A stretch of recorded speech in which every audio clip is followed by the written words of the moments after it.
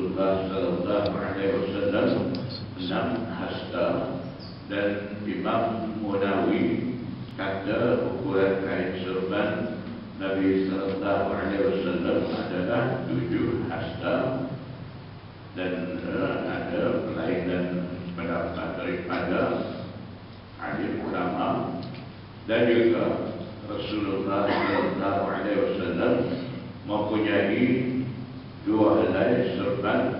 dan pendapat. Daripada Mullah Ali Bukhari Rahmatullah Alaih dia pula kata ukuran saiz kain serban Rasulullah Sallallahu Alaihi Wasallam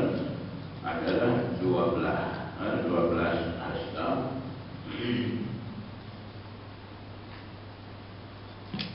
Dan memakai kain serban itu dikira satu amalan sunnah Rasulullah Sallallahu Alaihi Wasallam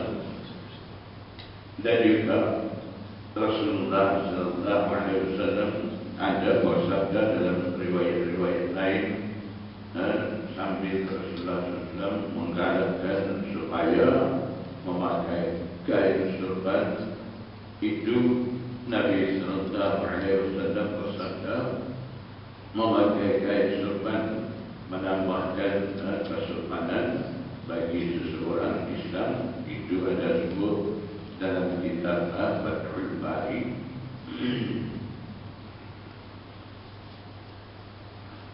Dan ada satu ketika ada seorang tanya kepada Abdullah bin Umar adakah memakai kain serban itu satu amalan sunnah jawab kata Abdullah bin Umar benar itu adalah satu amalan sunnah daripada Rasulullah sallallahu alaihi wasallam. Dan juga dan ada galakan daripada ahli ulama dan juga ada satu riwayat lagi menyatakan biasakanlah diri memakai kain serban kerana itu adalah tanda membezakan antara orang Islam dan orang kafir. Jadi berdasarkan hadis-hadis tadi dapat Rasulullah Sallallahu Alaihi Wasallam sentiasa memakai kain serban. حدثنا ابن ابي عمر حدثنا سفيان عن مساور الوراقي عن جعفر بن عمرو بن حريث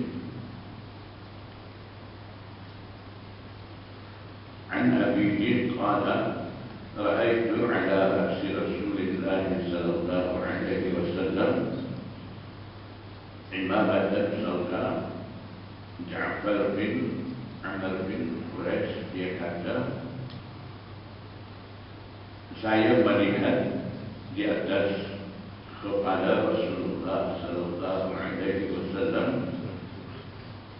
Nabi sallallahu alaihi wasallam memakai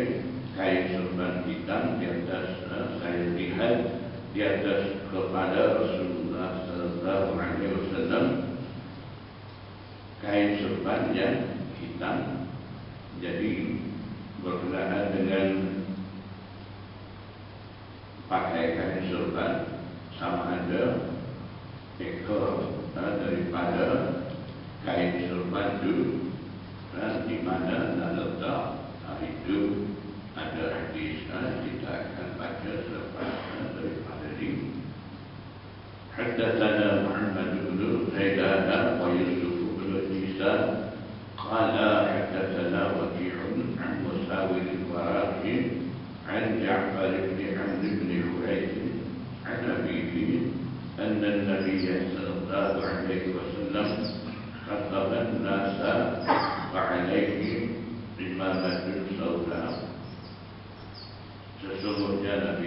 Sallallahu Alaihi Wasallam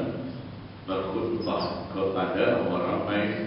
pada hari Mekah sedang di atas kepalanya ada kain serban yang hitam. Jadi kisah baca khutbah ini berlaku di Mekah dan, di hadapan itu Kaabah di ketika itu kelihatan Rasulullah Sallallahu Alaihi Wasallam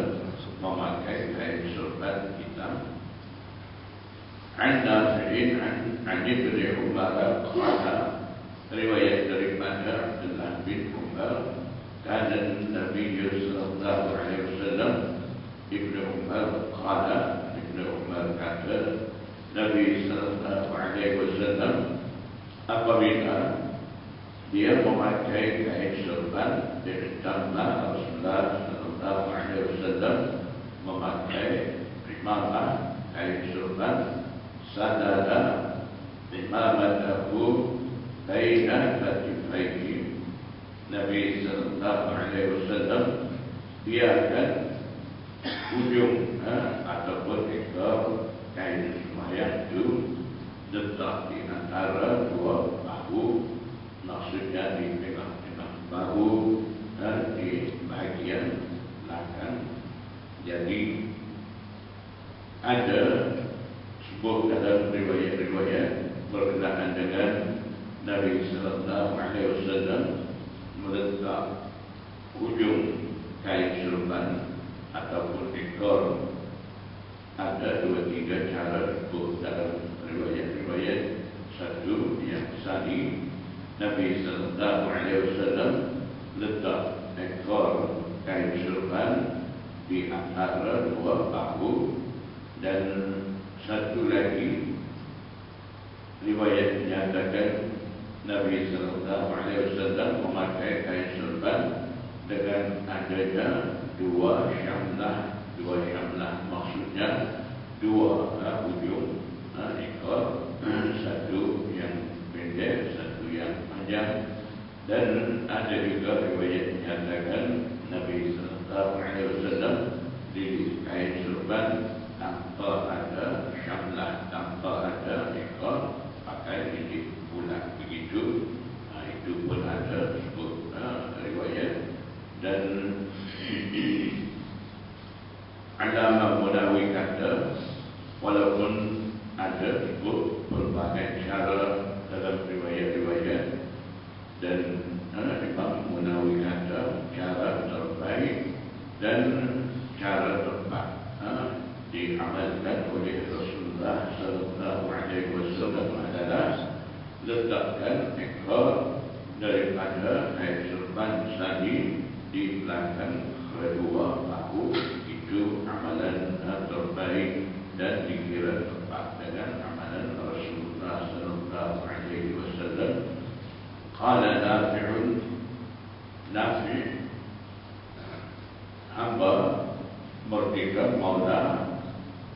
Umar dia kata wa kana Ibn Umar yaf'alu dhalika dan Abdullah bin Umar biasanya dia lakukan itu. Maksudnya Abdullah bin Umar juga bila pakai kain serban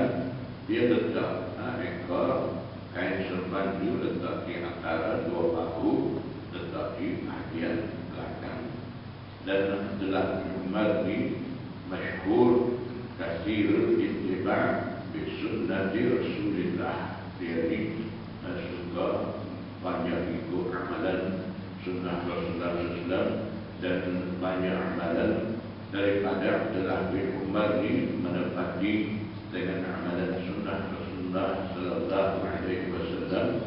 Dan Abdullah bin Umar ini memang dia suka gemar amal amalan sunnah Rasulullah SAW apa sahaja Rasulullah Sallallahu Alaihi Lakukan dia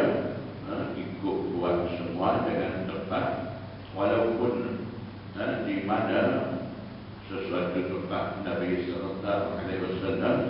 berhenti istinja ha, kecil ha, dalam satu-satu perjalanan misalkan